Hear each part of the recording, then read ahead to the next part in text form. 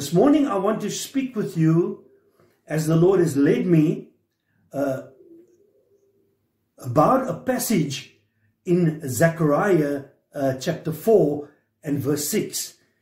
It states, Not by might, nor by power, but by my spirit, says the Lord.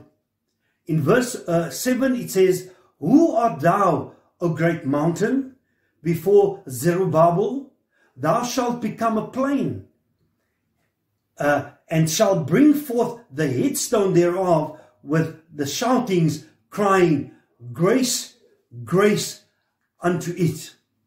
Now, in the 486th day of the lockdown uh, due to COVID 19, I am sure that we are going through some very challenging times.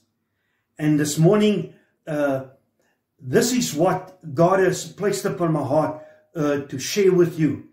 And this word, in particular, uh, Zechariah chapter 4, verse 6, uh, makes three very pertinent, very important, and very elaborate uh, statements. It says, number one, it says, it is not by might. And it also says, nor is it by power. But thirdly, the Holy Spirit says, It is by my Spirit. And this is the words that the Holy Spirit brought to Zerubbabel. Um, now we know that Zerubbabel was responsible to lead the children of Israel out of Babylon, where they were in captivity for quite a while. And they were all very concerned about um, the temple that was in Jerusalem, the place of worship, or the place of intimacy with God. And God had shown him that he is going to be the one that's going to lead his people out. And this morning, this is what God has placed upon my heart. And I want to just um, break it down a little bit. Um, firstly, the first point that he makes is he says, It is not by might. Now, the question then must be asked is, what does he mean? What is the Holy Spirit mean when he says to us, it is not by might? Now, I've obviously went to go and study that a little bit, and I went to see the context of that. Now, uh, the word might uh, is an auxiliary verb. It's a doing word. It's a word that uh, uh implores us or has uh, reminds of of what we've done. It is also the word might is the simple past tense of the word may. Uh, you may have done certain things and you may not have done certain things. And here, this word may or might uh, has specific meanings. And this is what the Holy Spirit is dealing with us as a church. He says, what does it mean? It means that uh, uh, may means or might means what you were able to do. In other words, what you've done in the past what you've accomplished in the past, where you have traveled, what you've achieved, your qualifications, your accolades or your certifications, your, your qualifications, your doings, your own doings. Number seven, it talks about your influences and your connections. It also, and number eight, it says it is what you could have, should have, and might have done in the past. The word might talks about what you have accomplished and what you've done in the past. And here the Holy Spirit clearly states in this verse to Zerubbabel, it says, It is not by might. And I want you as a church, we as a church, need to take stock and say, What is it that we've done? Do we stand on the accolades or the or the fame or the or the influence of what we've done in the past. But here, the Holy Spirit says to Zerubbabel, it is not by might, nor is it by power. And again, here, I want to just look at what is the word power implies. What is the Holy Spirit implying to us in, in today's uh, um, context? Now, power here uh, as a noun, it is the ability to do or to act. In other words, what you can do now. What is your skills? What is your knowledge base? What is it that you are capable of doing What is your capacity? What is your uh, the the the position that you're in to accomplish certain things? It could also be used as a, as a verb. This word power. In other words, uh, it it it can refer to you as a powerful person or you as a power, powerful individual. You could be a powerful CEO of a company or or a, or a, a Fortune 500 company, and you can have influence and you can you can do certain things that other people cannot do. And yet here um, also as a verb, it talks about uh, power is reflected that if you switch, if you switch, uh, flip a switch, then the light goes on in the room. It brings light. So in other words, it's a conduit of power. The that uh, switch switches on the power that will light up the room. It's also with a with a with a torch. When you flick the switch on on a torch, it produces light. It's not uh, the bulb that produces the light, but it is the batteries inside of the of the the flashlight that will produce the power. So in other words, what, what, is it, what does it imply? It implies that uh, it, it refers to uh, uh, the kind of power, the kind of authority that you and I can possibly have. Influence over other people, influence within our uh, work environment, in our society, and so forth. It talks about physical strength, power. And here, Zerubbabel, uh, or the Holy Spirit says to Zerubbabel, it is not by might, neither is it by power. In other words, it is by my spirit. And here I want to speak to you very specifically. Uh, uh, Zechariah 4 verse 7, uh, the Holy Spirit addresses uh, the situation that Zerubbabel finds himself in. It says, Thou, who art thou, O great mountains? Before Zerubbabel, thou shalt become a plain, and he shall bring forth Uh, uh, uh, the headstone thereof uh, with shouting and crying. And it talks about grace upon grace.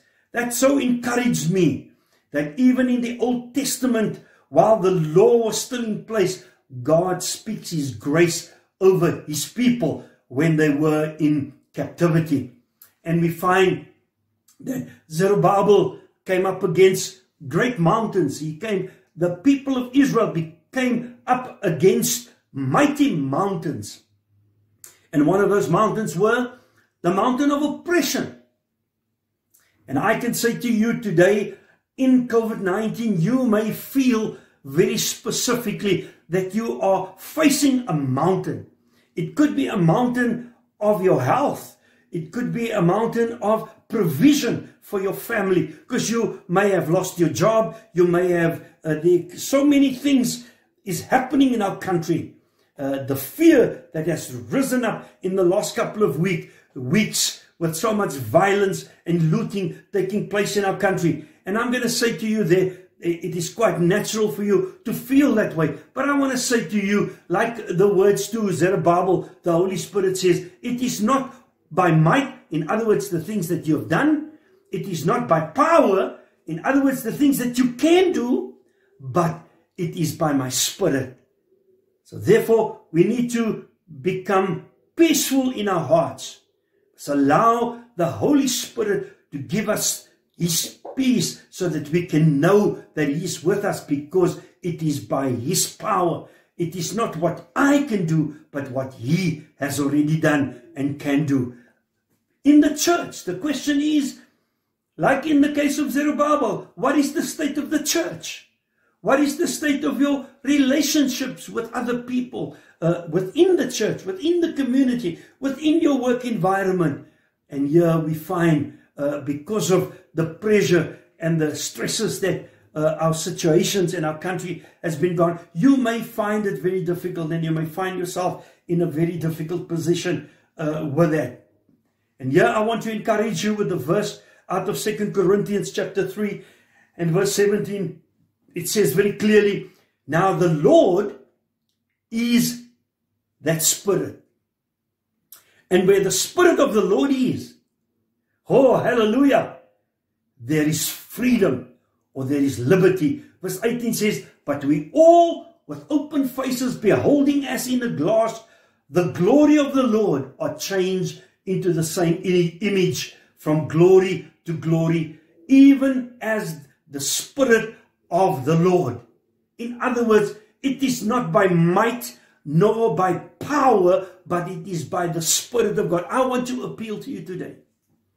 I want to say to you if you uh, are standing at a crossroads this morning and you are burdened with all kinds of issues, I want to say to you the Lord is saying to Chrisma Fellowship and to the believers in South Africa, it is not by might, neither it is, is it by power, but it is by my spirit, says the Lord. Like in the day of Zerubbabel, we face many mountains, the mountains of enslavement to the flesh.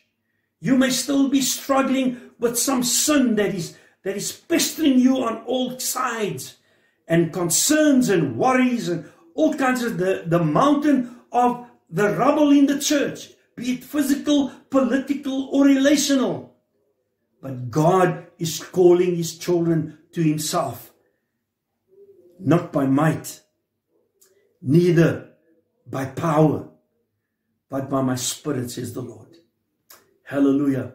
It's a few short words just to encourage you today. And I want to say to you, we are living in the age where the kingdom of God is coming. It is here. It is with us. And that kingdom is managed. It is driven. It's motivated by the Holy Spirit.